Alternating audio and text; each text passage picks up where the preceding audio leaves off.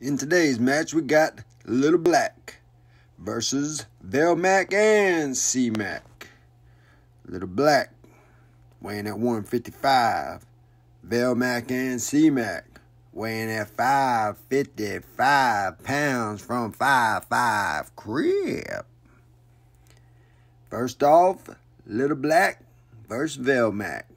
We have a clean round. I want you to touch gloves and Let's get ready to rumble.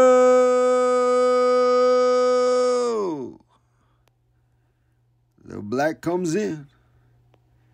He's got him stance. Now let's see him dance. Velmac's weaving and bobbing, weaving and bobbing.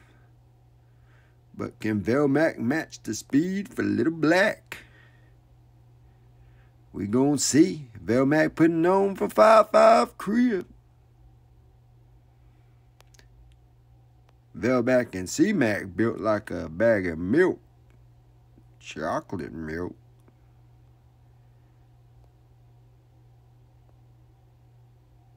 Little Black filling him out, filling him out.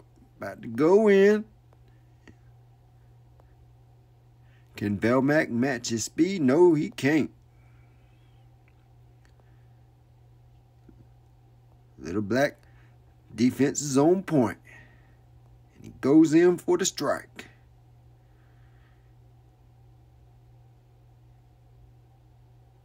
Oh, hit him with that two piece, three piece, four piece from Popeye's chicken. C-Mac looking hungry over there. Talking about Popeye's chicken. It's the first time I seen C Mac with water instead of an OE. Oh Lord, Velmac in trouble. Velmac in trouble. Oh, C-Mac is in there swinging away. Swing on everybody. Oh, Lord. He's throwing but missing. C-Mac just can't seem to catch him. Is C-Mac gonna do some damage?